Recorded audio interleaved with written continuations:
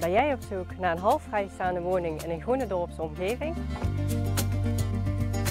Gelegen op een hoekperceel met daardoor veel ruimte en veel zoninval. Voorzien van een eigen oprit en garage. Met boven drie slaapkamers, een badkamer en beneden al een aanwezige aanbouw.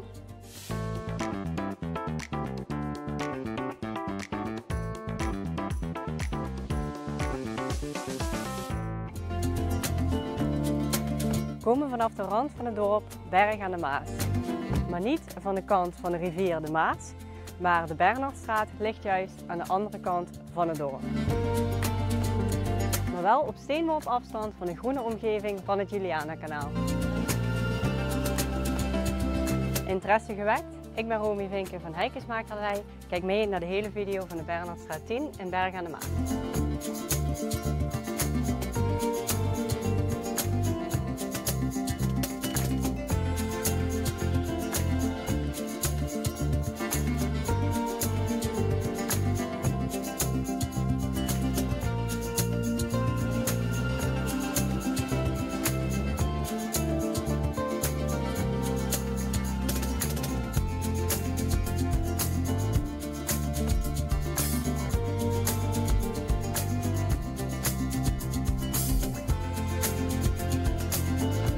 Met deze pui van 2023, een ketel van 2019 en daardoor energielabel C, is deze woning technisch gezien al aardig geworden.